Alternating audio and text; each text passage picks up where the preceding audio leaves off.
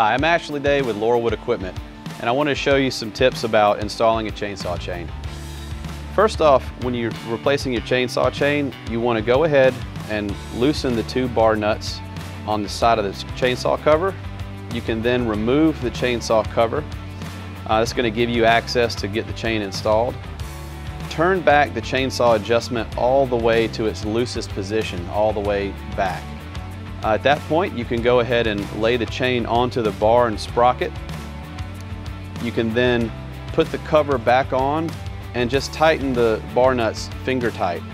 Once you've done that, you can go ahead and make your chainsaw adjustment on the uh, chain tensioner, take out all the slack of the chain, get it to where the chainsaw chain is just touching the bottom of the bar. Once you've done that, you can go ahead and make a final adjustment on your bar nuts, locking those down you just have to snug them down. You don't have to make them overly tight. And that's it. For more chainsaw tips, stay tuned to Laurelwood Equipment.